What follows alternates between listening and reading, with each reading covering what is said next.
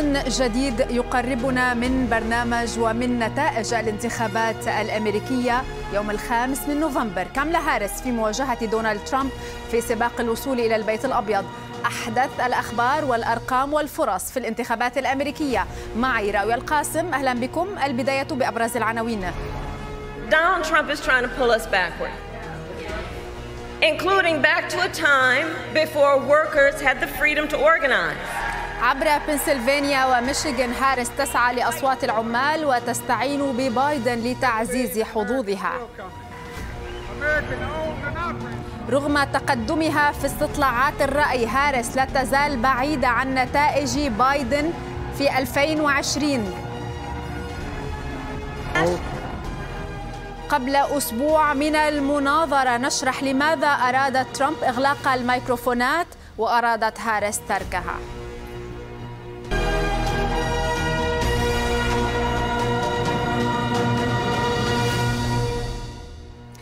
هذا السباق يختلف المرشحان في كل شيء تقريبا حتى طريقة قضاء العطلة. فبينما بدأت هاريس إطلاق حملة الخريف للانتخابات أي بعبارة أخرى الدخول في المرحلة النهائية بالكثير من الفعاليات فضل ترامب أن يمضي اليوم على موقعه تروث سوشيال هاريس بدأت جولتها من ديترويت في ولاية ميشيغان المتأرجحة للغاية في منطقة حزام الصدأ.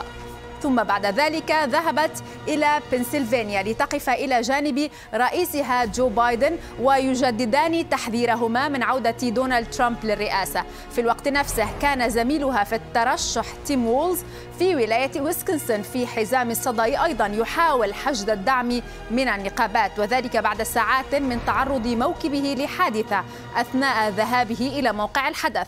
ولكن سيارة وولز لم تكن من ضمن السيارات التي تسببت في الحادث. الحادث. أما ترامب فاكتفى برسالة عبر تروث سوشيال وقال عيد عمال سعيد لجميع عمالنا الأمريكيين لا يمكننا الاستمرار في العيش في ظل هذه القيادة الضعيفة والفاشلة. لترد حملة هاريس على ترامب قائلة إنه يتخلى عن العمال في عيدهم لأنه متطرف ومناهض لحقوقهم. إذا ركزت هاريس على ولايات حزام الصدى التي صوتت للديمقراطيين منذ عام 1992 حتى انقلبت عليهم في 2016 لصالح ترامب قبل أن تعود مجددا. نلقي نظرة على استطلاعات الرأي في الولايتين التي ذهبت هاريس إليهما. بنسلفانيا التي تمتلك 19 صوتا في المجمع الانتخابي. تتقدم فيها هاريس بهامش نقطة مئوية واحدة. 46% مقابل 45% لترامب. أما ميشيغان التي تمتلك 15 صوتا في المجمع الانتخابي هامش هاريس هناك أوسع قليلا 2% 46 في المئة مقابل 44 في المئة أو 44 في المئة لترامب بدأت بميشيغان وانتهت ببنسلفانيا وقالت نفس الكلام تقريبا في الولايتين But as we fight to move forward, Donald Trump is trying to pull us backward. including back to a time before workers had the freedom to organize. He's going to jail. Well, the courts will handle that, and we will handle November. How about that? we'll handle November. Let the courts handle that other thing.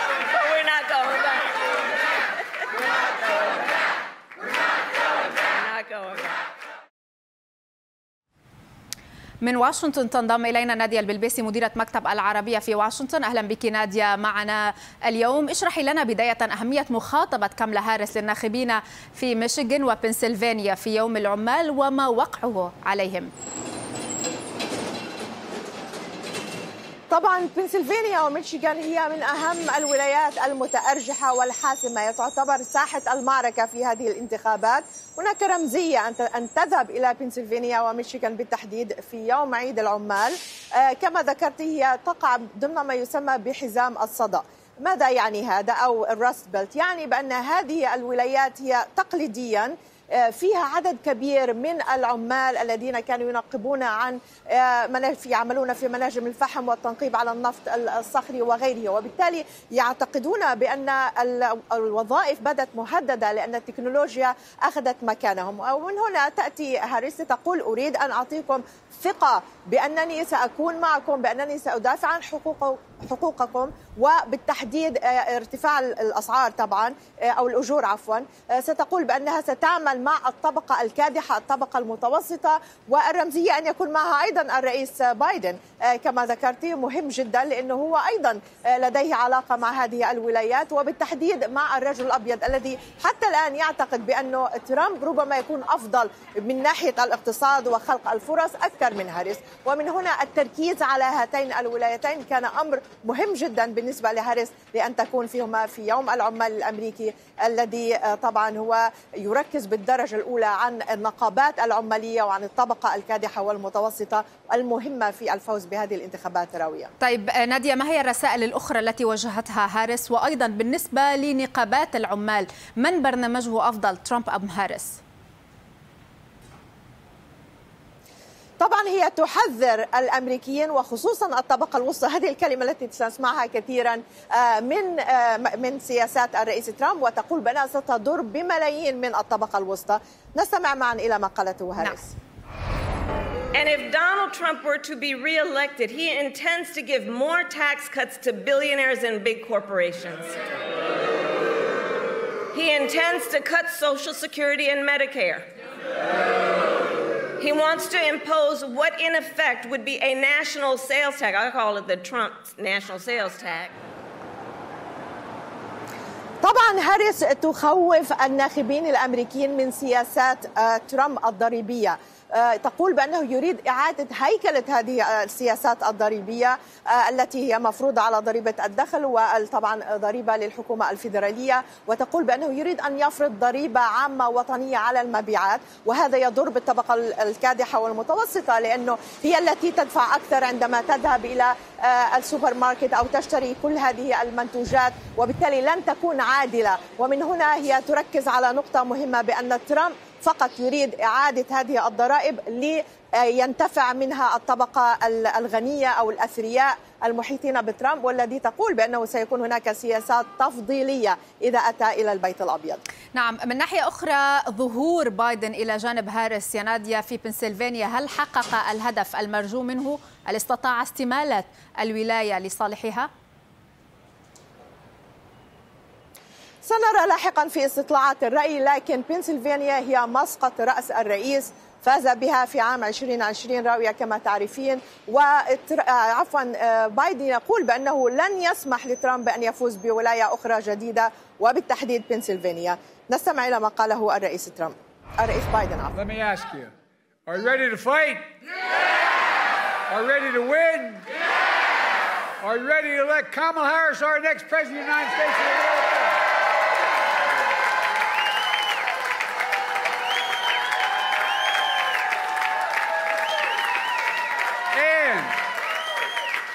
The process, are you ready to make Donald Trump a loser again? نادية ما خطط ترامب في الأيام المقبلة قبيل المناظرة المنتظرة؟ طبعا ترامب سيقضي الأيام القادمة في الولايات المتأرجحة سيذهب إلى ميشيغان مرة أخرى وسنسمع أكثر من مرة بأن هاريس وترامب قد يكونان حتى في نفس المكان يبعدان عن بعضهما فقط بعض الأمتار أو بعض المسافة القصيرة لأنه بالتحديد يريدان أن يكسبان الناخب الأمريكي في هذه الولايات المتأرجحة. سيكون لديه فعاليات أخرى في ساوث كارولاينا لكنه قرر ألا يفعل شيئا في عيد العمال هو أهم عيد ربما بالنسبة للنقابات العمالية. لكن سنسمعه طبعا في أكثر من مهرجان انتخابي من الآن وحتى يوم المناظرة. هذه المناظرة التي ستحدد أي اتجاه البوصلة لأين سيذهب كل مرشح في استطلاعات الرأي بعد العاشر من سبتمبر. وطبعا سنغطيها معا أنا وأنت راوية طبعا نادية شكرا جزيلا لك مديرة مكتب العربية في واشنطن.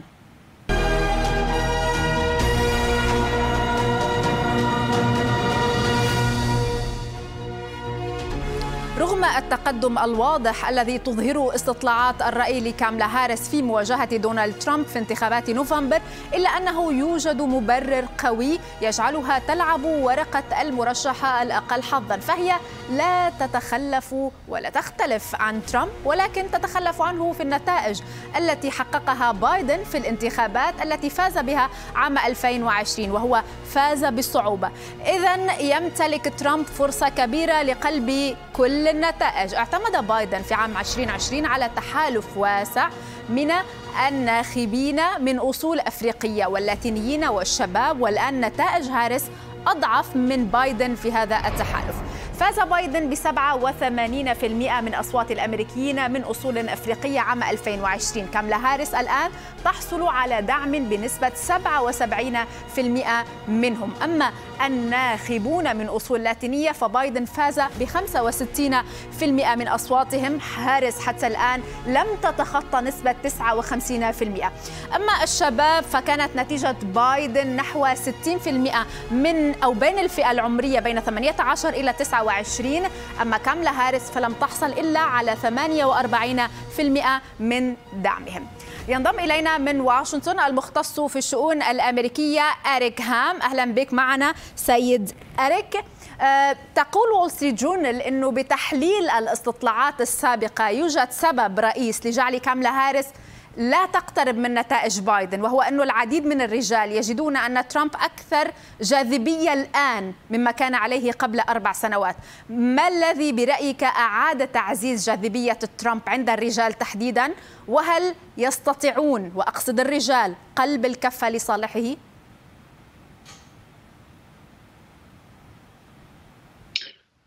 I think it's أعتقد أنه عبارة عن فقدان ذاكرة اختياري. الجميع يبدو أنه ينسى كيف تعامل مع جائحة الكوفيد التي أدت إلى مقتل أكثر من مليون. وما نراه هو أن كثر يعتقدون أن دونالد ترامب سيكون مناسبا للاقتصاد. فهناك كثر كان لديهم مشكلة مع زيادة التضخم وبالتالي لهذا السبب فهو يزداد جاذبية لدى الرجال. نعم سيد إريك هناك استطلاع ل ABC أظهر أن نتائج بايدن وهاريس متقاربة أكثر عند الحديث عن النساء. فبينما حصل بايدن على 57% من أصوات النساء في 2020 هاريس الآن تحصل على 54% هل السبب برأيكم قضية الإجهاض أم كون المرشحة السيدة وهو الذي يدفع النساء لدعم هارس؟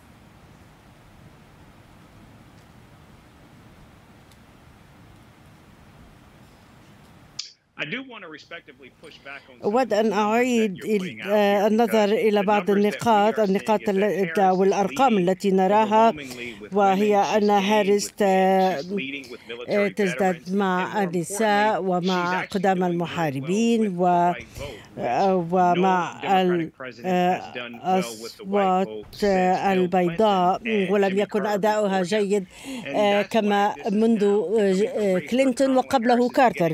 وبالتالي يبدو أن هناك اختلاف بين هاريس وترامب في هذا الإطار. نعم. ترامب سيد هام حاول بأكثر من مرة يعني إبطاء صعود هاريس من خلال وصفها بداية بأنها ليبرالية ومن خلال انتقادها وما حصل أيضا بمقبرة أرلينغتون. برأيك هل ساعد ساعدت هذه السياسة بالحد من صعود المرأة؟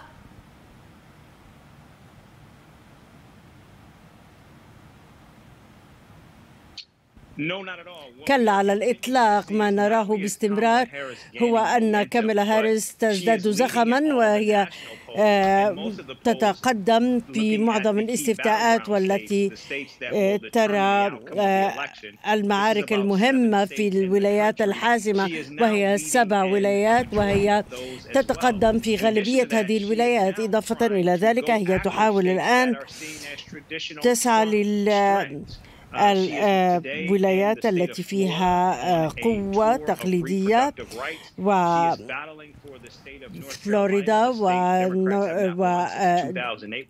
كارولاينا وكان كان قد فاز فيها أوباما سابقا وهاريس تزداد بشكل شامل وتزداد سيطرتها على كثير من الولايات لأنها تحظى بدعم مادي يمكنها من ذلك أيضا إريك هام مختص في الشؤون الأمريكية شكرا جزيلا لك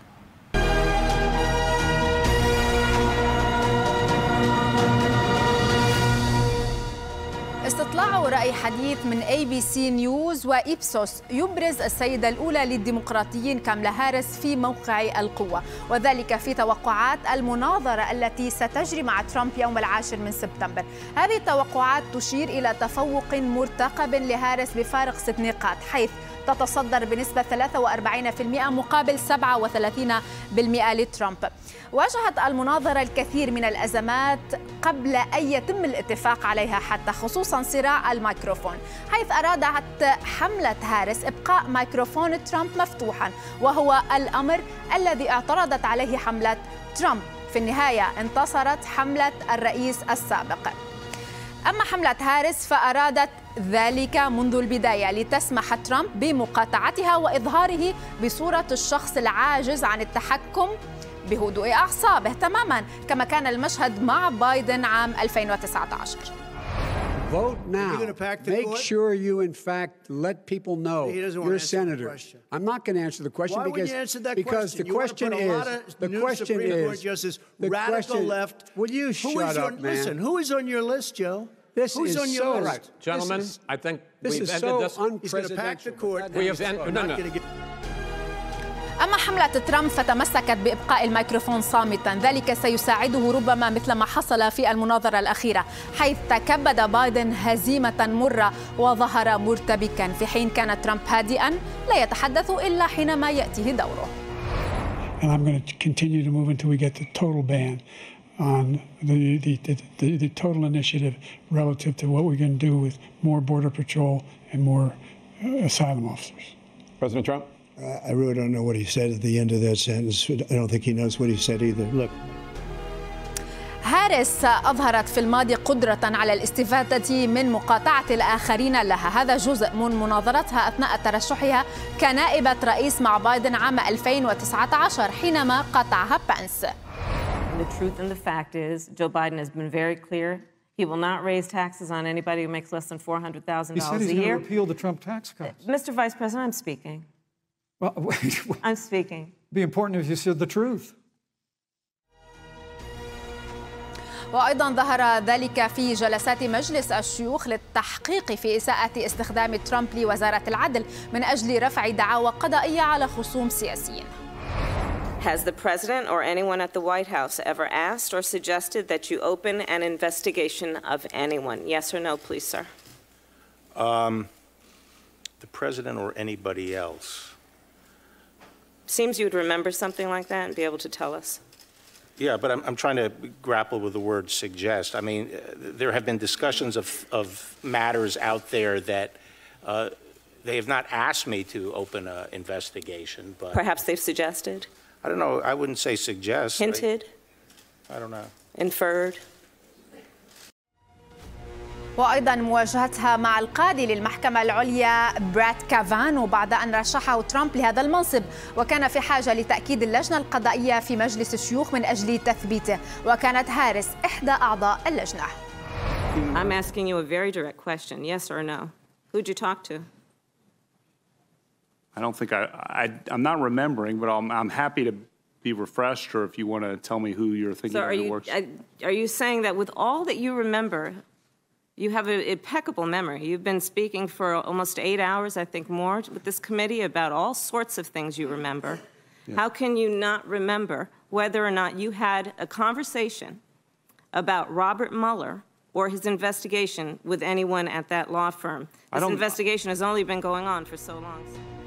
قد ننسى تفاصيل كثيرة في السياسة الأمريكية لكن ترامب لا ينسى ففي لقائه الأخير مع فوكس نيوز انتقد معاملة هاريس سواء لبرات كافانو أمام مجلس الشيوخ أو حتى معاملتها لمايك بانس أثناء المناظرة I think there's no human being that was ever treated worse in Congress than Justice Kavanaugh. And Harris led the battle.